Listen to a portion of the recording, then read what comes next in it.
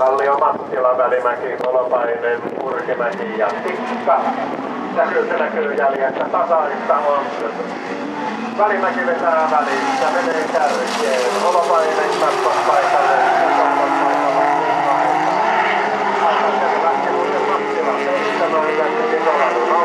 Ja Kallio otti. Ei noussut kolmospaikalle, Kallio on nelospaikalla ja näin vitospaikalla on Mattila.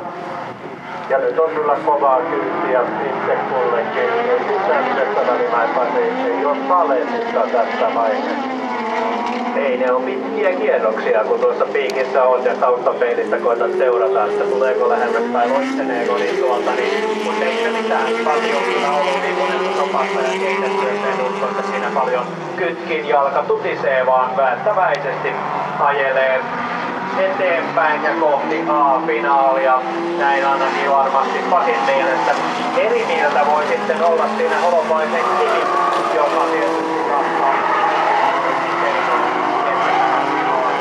välimäkeä tuosta A-finaalipaikasta.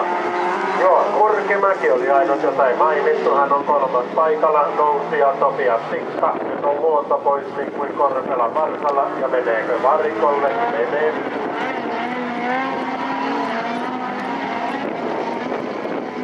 Eli tätä myöden jaemme kuudennen paikan Kalle.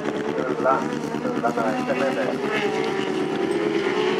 Ja tulee olemaan yleisen luokan kokonaissijoituksessa yhden Sen verran tuosta laskeskelin. Toki sain Kennetiltä apua ihan mulla kahden käden sormet riittänyt Kennet ja nosti sen yhden vielä ylös.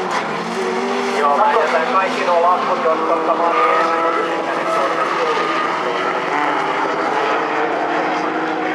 20 niin on viidenä mukana. Se on ok. Mutta Välimäen Pasi on kyllä nyt vahvasti menossa kohti A-finaalia. Sen mä jo tässä vaiheessa uskon, jos ei tule mitään ihmeellisiä isompia teknisiä haasteita. Sen verran tota rakoa tuossa kyllä on, että pystyy ajelemaan kyllä jo melkein niin ihan vaan tuolla lasketellen. Sen sijaan Holopaisella tulee sitten vielä vähän sinistä tuossa takaluukusta ja onko niin, että hänen laitteensa hyytyy tuohon. Eli nyt ongelma irti Holopaiselle ja hänen kakkosia vaihtuu vitossijaan. A-finaaliin tästä lähdöstä numerolla 11. Pasi Valimäki, Kaivu Välimäki Fiatillaan. Hänet näemme